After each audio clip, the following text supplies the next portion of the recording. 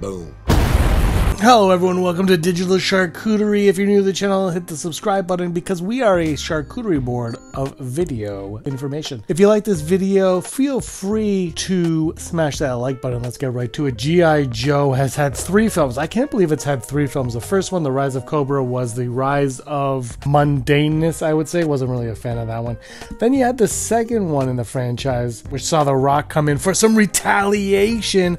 And then, of course, Snake Eyes. I gotta say, Snake Eyes was pretty fun. I think it had some directing issues more than anything. I think the movie itself was could have it could have been a lot better than it was. Uh, anyway, look, uh, if Transformers: Rise of the Beast is coming out soon, and there are some reports saying that this movie is a hot mess, but it is going to make some coin at the box office, no doubt. And uh, in an interview with Collider, Transformer: Rise of the Beast producer Lorenzo Di Bonaventura said, We actually developed pilot with Amazon. This was before Paramount Plus, just as Paramount Plus was coming in. It didn't pan out. We are in a lot of conversations about what to do with it as a film. And so I would have to say, most likely you're going to see that come to fruition. How soon is always impossible to say. For a long time, there were no active conversations. There's a lot going on right now. One thing I gotta say is the G.I. Joe franchise seems like a guarantee good movie. I mean, if you, I mean, I know it's an action figure and all that, but it actually, like the whole idea of it, you could definitely do a good movie. You could do a gritty movie, you could do a fun action movie, yet somehow they've managed to botch it